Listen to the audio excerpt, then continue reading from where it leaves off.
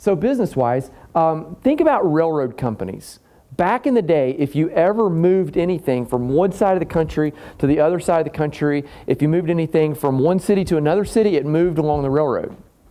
They were huge in what business? They were huge in the transportation business. The reason, the why they existed was to move things from one place to another place.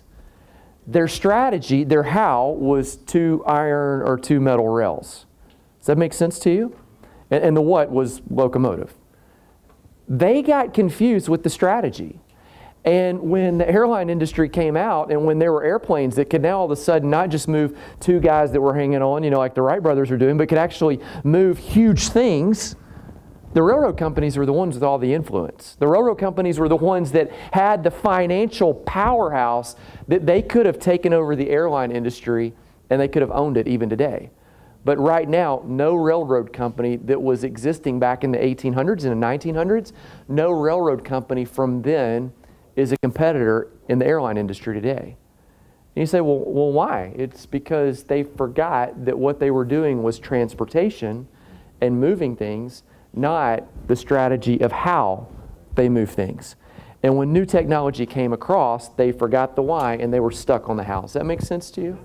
Um, another example is how many of you, Kodak's a great example, I cannot articulate it very well. Um, I would send a microphone to you, but you would articulate it so well that you might go on. I, I will send you a microphone anyway. And if you can articulate it, I will give you an oil of your choice off that. Okay, but I'm going to talk while the microphone's coming. So, another example if you guys are going to watch a movie, where do you guys get the movie today?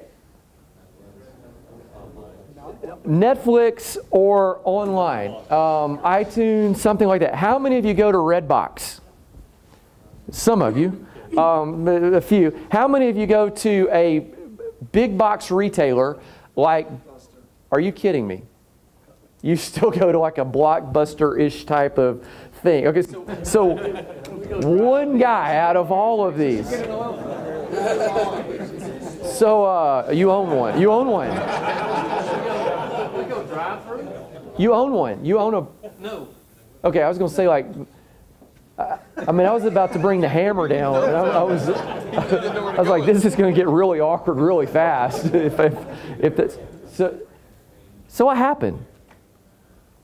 Technology. I I mean, technology came across. Why did Blockbuster exist? Why did some of these movie houses exist? They they existed to provide entertainment that you could access on demand. And they got the implementation strategy confused. They got the how confused. They were providing entertainment. And when the how, when the strategy, when the delivery method changed, they didn't. And so, because they weren't focused on their why, their driving value, they just got left behind. The same thing actually happened with a lot of the major television networks, right? If some of you want to watch TV, you don't necessarily watch TV on a news network or a major network, ABC, NBC, Fox, something like that. You just kind of watch it on demand, Netflix, Amazon Prime, some of these other things, because what the television industry forgot was that they were delivering things for in house entertainment in the home. And they forgot, well, maybe that's the drive. Maybe the drive's not certain things at certain times on a certain agenda that you have to watch it when we want. You, see how maybe the implementation of some things can change. And if you don't have the drive and the reason why you exist, you can just get left behind also. Do you want to try to do Kodak? I'll try, and I don't know if I'll do it really all right, great. So but we're all going to give you a thumbs up or a thumbs down. or a thumbs down, depending on how well You're just building this up, aren't you? Hey, stand up so everybody can see. Okay. Yeah, yeah. Hey, I'm uh, I'm Chris Baslin. Uh, All right, known- so a thumbs. If it a thumbs down. All right, a limit if it's a thumbs down. Yep, and Mister if it's a thumbs Uh, I don't have the mister because somebody. Shoe took. all right, I've got no shoe tron. I, oh yeah, I got okay. Thumbs up. You, do you shave? Yeah. All right. So no, I. I, I, I didn't. I didn't mean that. How it.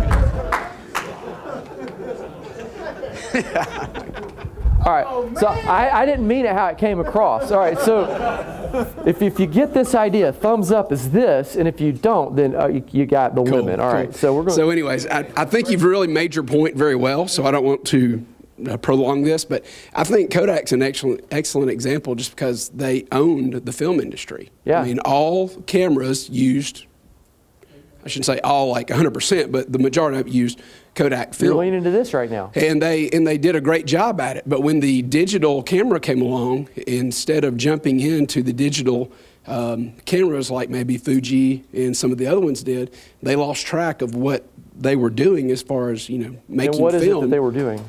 making film, making making pictures. Yeah, And the- images. yeah, images, and where they could have jumped into, uh, because like you said, they had the resources. They knew the film industry. They knew pictures. They knew all of that.